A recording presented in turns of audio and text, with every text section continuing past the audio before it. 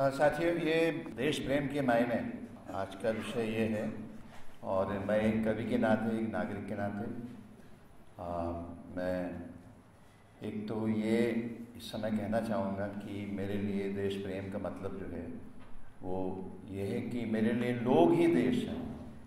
तो कोई देश कोई कागज़ पर बनाओ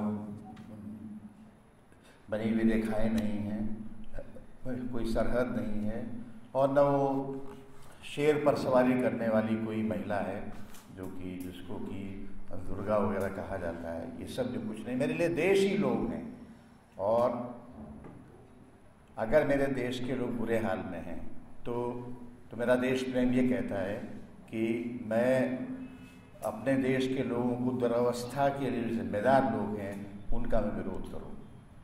तो मेरा देश प्रेम जो है, एक एक बुरी सांप्रदायिक जन विरोधी फासिस्ट सरकार से अपने देश को बचाने की कोशिश करना है, अपने साधनों के माध्यम से।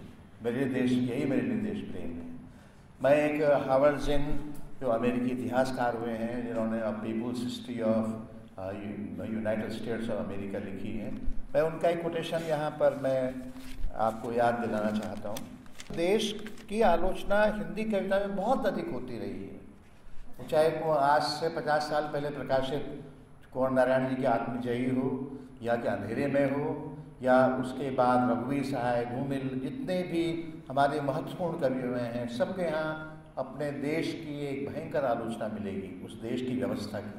तो एक देश प्रेमी होने के नाते मेरा एक कर्तव्य है कि मैं अपने देश की उस व्यवस्था का विरोध करूँ, जो कि हमारे समाज में तरह तरह के रोगों को, बीमारियों को, जहानत को, असहिष्णुता को, सांप्रदायिकता को पैदा कर रही है। हावर्ड सिंह का कथन है कि अगर देश प्रेम की परिभाषा सरकार की की अंध आज्ञाकारिता न हो झंडों और राष्ट्रगानों की भक्तिभाव से पूजा करना न हो, बल्कि अपने देश से, अपने साथी नागरिकों से और पूरी दुनिया से प्यार करना हो।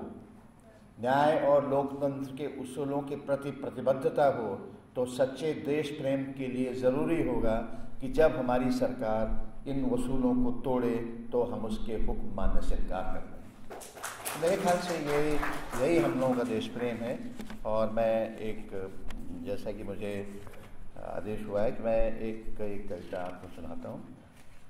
इसका नाम है तानाशाह तानाशाह को अपने किसी पूर्वज के जीवन का अध्ययन नहीं करना पड़ता। वह उनकी पुरानी तस्वीरों को जेब में नहीं रखता या उनके दिल का एक्सरे नहीं देखता। यह स्वतः स्फूर्त तरीके से होता है कि हवा में बंदूक की तरह उठे हुए उसके हाथ या बंधी हुई मुट्ठी के साथ पिस्तौल की नोक की तरह उठी हुई अंगुली से किसी पुराने तानाशाह की याद आ जाती है। या एक काली गुफा जैसा खुला हुआ उसका मुँह इतिहास के किसी ऐसे ही खुले हुए मुँह की नकल बन जाता है। वह अपनी आँखों में काफ़ी कोमलता और मासूमियत लाने की कोशिश करता है। लेकिन क्रूरता एक झिल्ली को भेदती हुई बाहर आती है और इतिहास की सबसे क्रूर आँखों में तब्दील हो जाती है। तानाशाह मुस्कुराता है, भाषण देता है और भरोसा दिलाने की कोशिश करता है कि वह एक मनुष्य है। लेकिन इस कोशिश में उसकी मुद्राएँ और भंगिमाएँ उन दानवों, दैत्यों, राक्षसों की मुद्राओं का रूप ले लेती है जिस, जिनका ज़िक्र प्राचीन गाथाओं, धारणाओं और विश्वासों में मिलता है।